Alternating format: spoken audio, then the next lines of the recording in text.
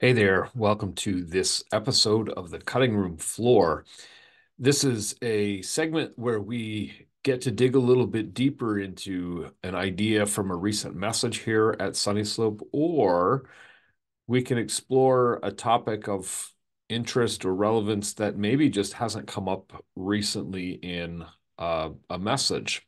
And that's actually what I want to do today. I you know, yesterday was the solar eclipse here in, well, it was not so much in Oregon, but it was across a lot of the United States. Uh, we saw it just a very little bit here in Salem, although cloud cover kind of made it hard for most of us to see it. But what I noticed um, coming out of this was there were some of these predictions about the end of the world. There were some people that were writing and kind of online chatter talking about is does the solar eclipse predict the end of the world. Is there any any idea here that maybe the the fact that there's this big eclipse is that maybe a hint that the world is ending? And so I got into thinking a little bit more about what the end of the world will be like. What does the Bible actually teach?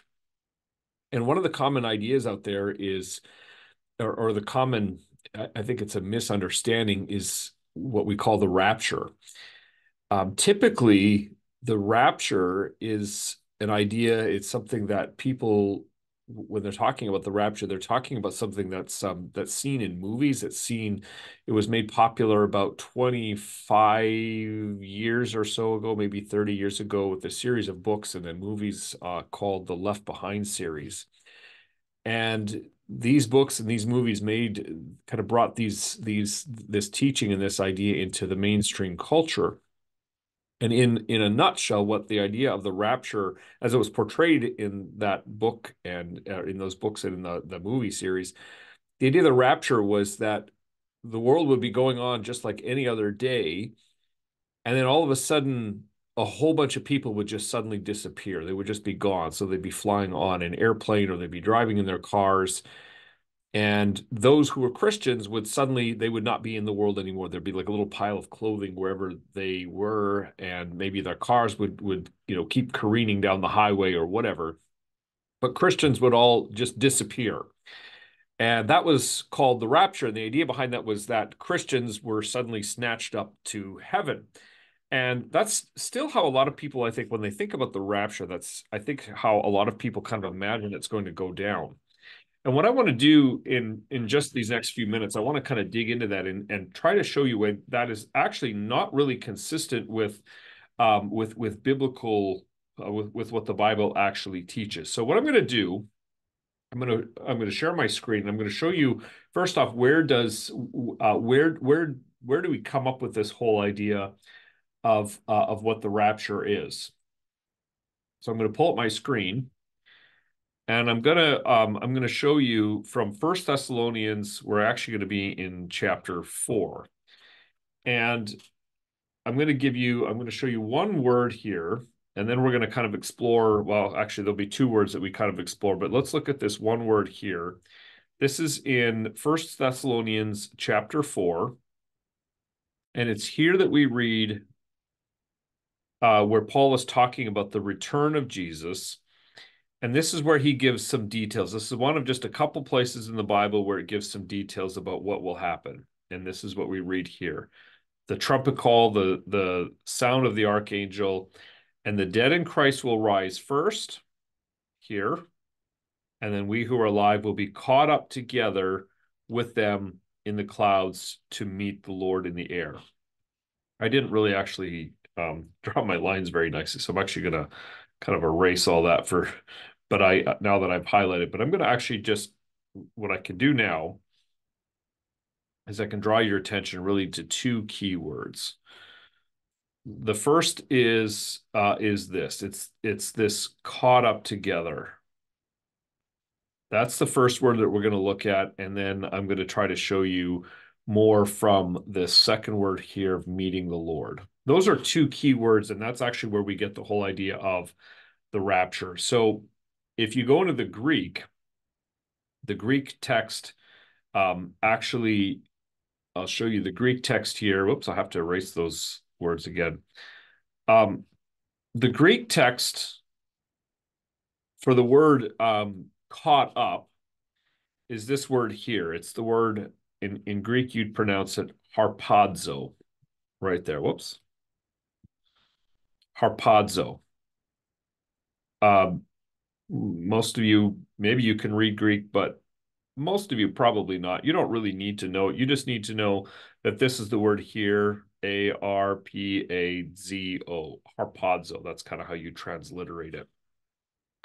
And as you can see, this little wheel here actually shows us it's it's a tool that we can use that helps us see how is this word translated. And you'll see here some places it's caught, take, plunder, even carried away. Um, oh, and uh, if we scroll down just a little bit, you actually see um, see every time I do this, then I lose my my markings all are off base. But anyway, here's all the different ways that it's translated. That's really what's what's relevant. And I think what stands out here, if you look at all these words, caught, take, plunder, carried away, snatch. What stands out is is it's a pretty sudden motion. It's a pretty it, it conveys the idea of a very sudden action in which um, a person or in some cases an object or an item is moved very quickly. And so it communicates this idea of something very sudden, very abrupt. Um, and it's this it's it's this word that actually is is used to describe what the rapture is all about. Now the idea and the word of the rapture, the word rapture as it's understood theologically is actually comparatively pretty new the idea of the rapture being an event in which believers are caught up or snatched up in the air or taken up in the air and suddenly just disappearing without a sound and and without a trace that idea is actually a pretty new idea in terms of the long history of christianity. That idea is traced to about the 1830s and what happened in the 1830s well there was um let's um i'm going to actually bring up a different screen here so let's let me show you um, a different screen because the what happened in the 1830s was the um, oops, was a a theologian uh, and, a, and a movement called premillennial dispensationalism, and it had to do with a scholar by the name of uh, Scofield, a pastor who was Scofield. His name was Scofield, and uh, and a number of others who created this theological scheme, you might say, and by that I just mean a theological idea or a framework that divided history and all of these into these major uh, seven major um, uh, time periods, and in each period of time, they were all called dispensations. Each period of time, God dealt with His people on on, on a different basis. Now, I'm not going to get into too much about dispensationalism right here, but dispensationalism became very closely tied with a view of the end times that is known as premillennial dispensationalism or premillennialism. And that has to do with, with uh, the understanding of history, um, well, breaking down like this. You have here, and I'll use my little annotation tool again. Over here, you have the death and resurrection of Jesus, and this begins this new period in history and it leads all the way through until the present time. So we're right somewhere in here. This is according to premillennial dispensationalism. And then there will be this moment here, the rapture. I'm just using the letter R there to stand in for the word for the rapture. And at the at the moment of the rapture, that's when believers will be snatched up to heaven. They will disappear into the clouds without a trace, a la the Left Behind movies and that will be followed immediately by this seven year period of time. Uh, but that will be a seven year period of tribulation. So that's when everything in the world is really left to go to hell in a handbasket. And so during that seven year period of time, um, there'll be wars and fighting, and it will serve as one last period of time for which non believers who were not raptured can still repent and still claim and look to Jesus Christ and be saved. After that seven year period of tribulation, there will be this thousand year period of time. And, and according to premillennial dispensationalism, it will be a literal thousand year period of, uh, of, of peace. So we're going to call it like this. we'll use the peace sign. A thousand year period of peace and tranquil uh, tranquility in which Jesus uh, returns and is ruling here on earth. I should have put um, I should have indicated that here. So Jesus Jesus returns at this end period and he rules for a literal thousand year period of time. I'm gonna have to erase that. Oops. Um, and after that thousand year period of time, then uh, then then then the final judgment takes place. So this actually this just to be clear should be judgment. So so this Jesus is ruling in Jerusalem during this long period of time, a thousand years, a millennial. That's where we get the idea of premillennialism. So because the rapture takes place and the return of Jesus takes place pre or before the millennium. And then there's the the judgment, which then leads to eternity, the new heavens and the new earth.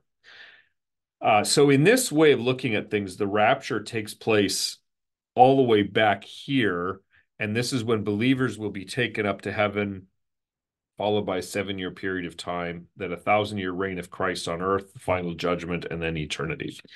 Um, there are other there are other viewpoints on this. I'm really not going to get into those right now, just because I'm trying to keep our focus on what is the rapture and how does that all relate. Um, the problem there's there's a problem with this point of view, and and that to to to explain that, I want to take us back to our uh, to our text.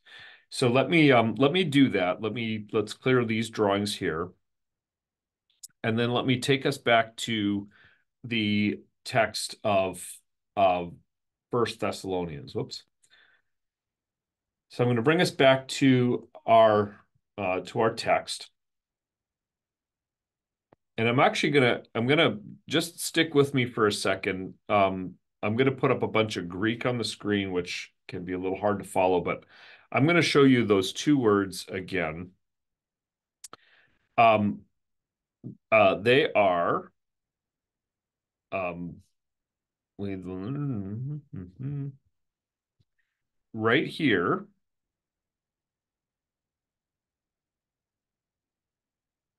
And right here. So here's that word arpazo. It's been it's been sort of conjugated so that it fits with the proper text and so on. So, but that's that's the word right here. And then uh, and that's the word, you know, to be seized up or to be caught up. So it communicates that that when Jesus, at the time of Jesus returns, it'll be a very sudden event. But in order to properly understand what that means, we have to go to this next word here, and this is the word apantesis. And this word, in, in my judgment, is critical for understanding what really happens at the end time. So let me take you. So then, because then the question is, okay, well, what does that act? What does that word actually mean? And that's where I want to take you to um, to like a Bible word study of that. So when we when we come to the word apantesis, we're back to it here. You'll see the word right here. It's a word now. It gives you the English translation here, meeting, and what what you see here, uh, just so you understand what it is that you're looking at. Um, I'll I'll uh, I'll I'll try to show you what you're what you're what you're looking at so you can make sense of this. The word apantesis, it appears you can see down here three times in the New Testament. And comparatively speaking, that's not a very that, that's not too many occurrences. That's only a you know very very small handful of times.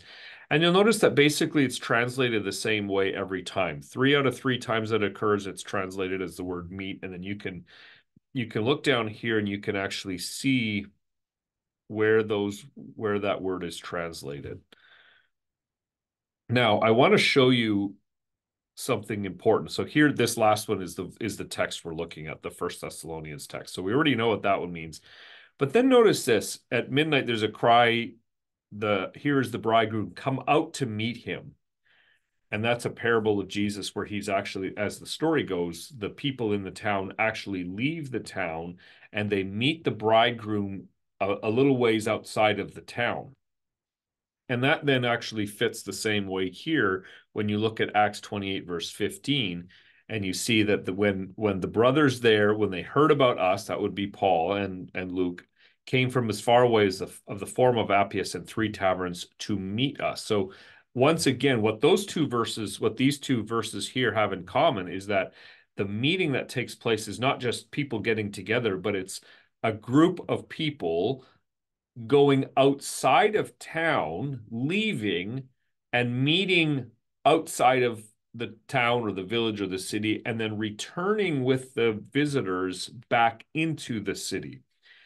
And interestingly, when you look further at this word, what you can actually do here, so that's the first thing when you do a word study, you look at where does this word occur and what does it mean? But then you can also pull up a dictionary, which is what I'm going to do here. I'm thinking you can still see this on the screen.